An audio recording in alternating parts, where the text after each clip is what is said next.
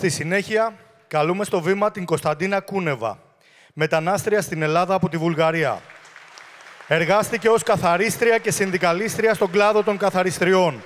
Πρώην Ευρωβουλευτής του ΣΥΡΙΖΑ από το 2014 έως το 2019, υποψήφια βουλευτή με το ΚΚΕ στην Α Αθήνας στις βουλευτικές εκλογές του 2023. Φίλες και φίλοι, συναγωνιστές και συναγωνίτριες. Είμαι πολύ χαρούμενη που βρίσκομαι και πάλι αναμέσα σας. Δηλώνω παρούσα στο κάλεσμα του ΚΚΕ για να δώσουμε ξανά άλλη μια μάχη αυτή των ευρωεκλογών. Για να βγει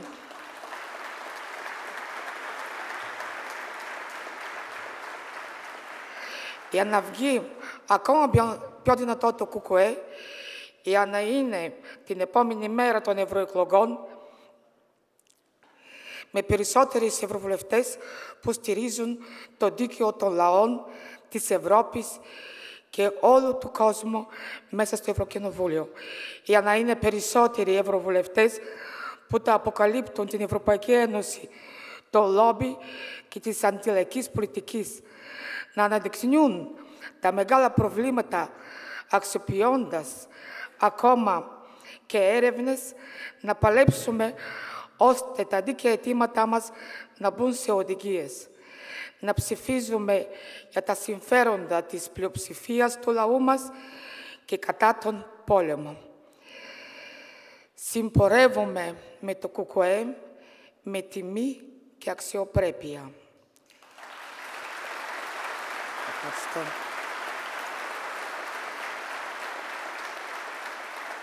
Γιατί είναι το κόμμα που αποκαλύπτει τα εργασιακά ατυχήματα, παλεύει ενάντια στους πληστηριασμούς, είναι το κόμμα που σταθερά και έπρακτα αντιπαλεύει το φασισμό και το ρατσισμό.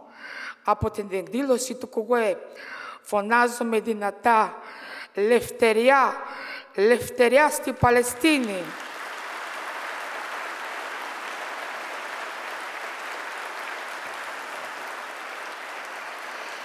Γιατί μόνο το ΚΚΕ ανοιχτά και καταρά από την πρώτη στιγμή βρέθηκε στο πλευρό του Παλαιστινιακού λαού όταν όλοι οι άλλοι δικαιολογούσαν την επίθεση και κατοχή του κράτους του Ισραήλ.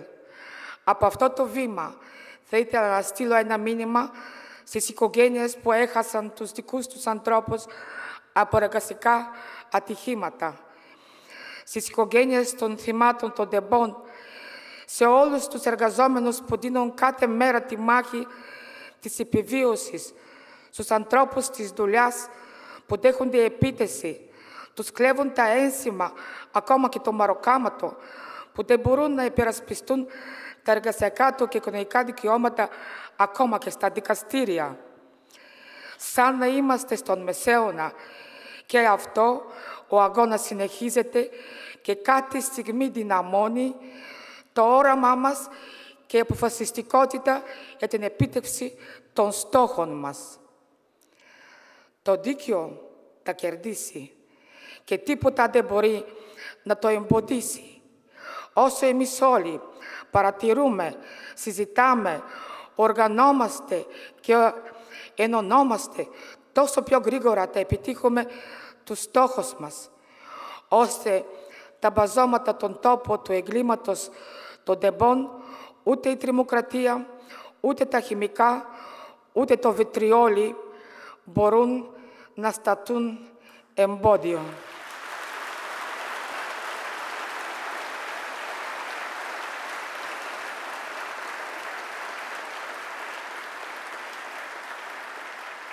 Όλοι κλάψαμε και πονάμε. Δεν συμφωνούμε με το έγκλημα, γι' αυτό όλοι εμείς πρέπει να στατούμε όρθιοι και να παλέψουμε παίρνοντας δύναμη και ακολουθώντας το παράδειγμα της Μάγδας Φύσας.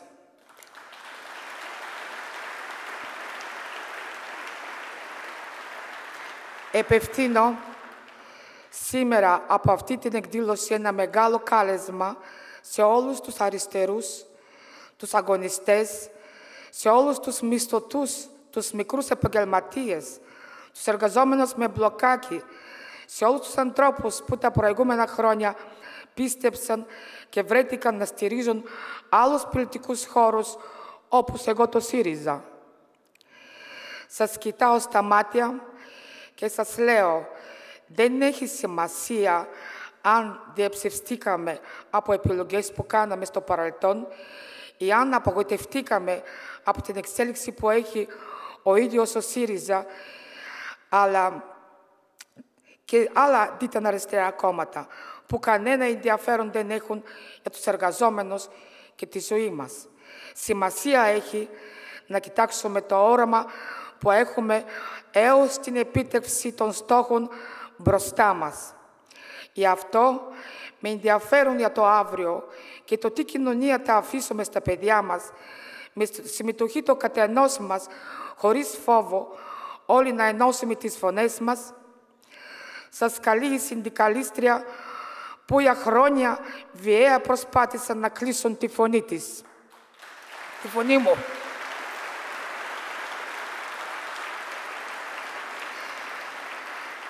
να μην επιτρέψουμε με την αποχή αλλά και με την διασπορά του, της ψήφου μας να δοθεί το δικαίωμα στο σύστημα και τις κυβερνήσεις το να παίρνουν ανάσες και να εμφανίζεται η νέα δημοκρατία ως απόλυτος κυρίαρχος.